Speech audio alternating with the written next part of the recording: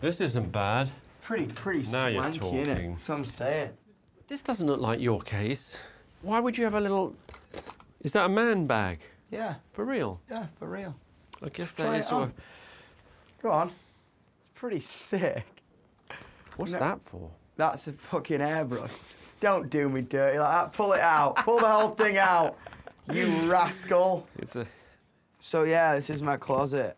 Can I put one on? Yeah, do You you, sure? try me, me jacket Just for a minute. We won't take long because we've got to get downstairs. They're waiting for us. Look at the. Do you want to do the interview in that? I mean, I wouldn't mind, but It's Pretty cool, actually. Oh, wow. My arms are maybe longer than yours. Yeah, Is that possible? probably. I guess I'm a little Pretty taller. fucking cool though. So this is pretty mental. It's pretty heavy.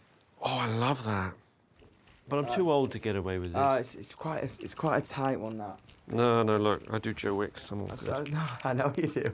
I've seen your Instagram. Have you? Something's gone wrong. Do you know what I mean? Yeah.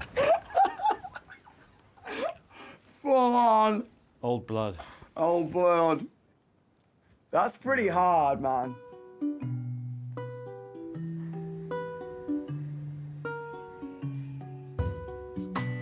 It's this way, isn't it?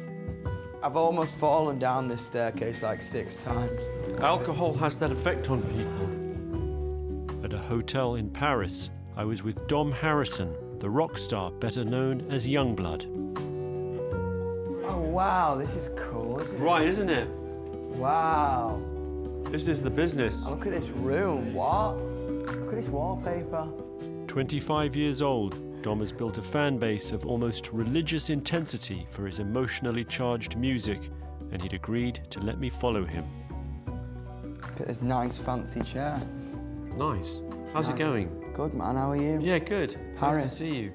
I was very excited for this. Do you know what I mean? Everything's up for discussion. That's what I'm saying. Nothing's off the table. That's what I'm like.